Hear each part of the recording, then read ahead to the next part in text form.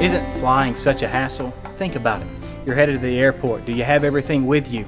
You get there, you've got to check your bags, you've got to go get a boarding pass, you've got to find your gate, walking down that long terminal that seems to be so endless. But then finally you get there, and the lady at the check in says, Do you have your boarding pass? Well, do you? Do you have your boarding pass for God? We have to have our boarding pass for Him. We have to not be afraid of using our boarding pass. You can't be afraid to get on the plane once you have your boarding pass, or the pass is useless. Come join us for part two of Takeoff.